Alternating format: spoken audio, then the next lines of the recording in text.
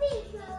Follow every day and never forget them. We should get up early in the morning and pray to God every day. We should brush our teeth twice a day in the morning and before going to bed.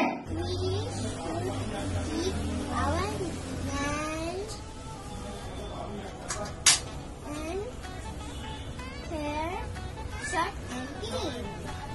We should eat fresh and healthy food.